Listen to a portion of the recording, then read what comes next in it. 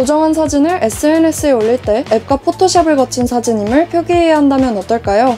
영국의 루크 에반스 의원이 광고나 협찬 게시물처럼 사진을 보정하거나 포토샵을 사용했음을 명시해야 한다는 법안을 발의해 화제를 모으고 있습니다.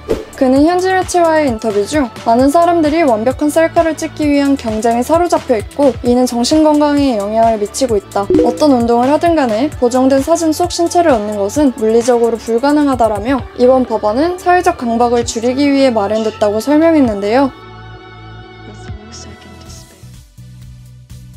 또한 의사로 일했던 루크 에반스 의원은 자신의 몸매 때문에 불안, 우울증, 최악의 경우 섭식장애를 겪는 환자를 많이 봤다라고 덧붙였습니다. 실제로 영국 국민 보건 서비스에 따르면 코로나19로 외부 활동이 제한되고 SNS 이용이 늘어난 상황에서 만 17세 이하 청소년의 섭식장애와 자신의 신체에 이상이 있다고 느끼는 신체 이형증 진단율은 41%나 증가했다고 하는데요.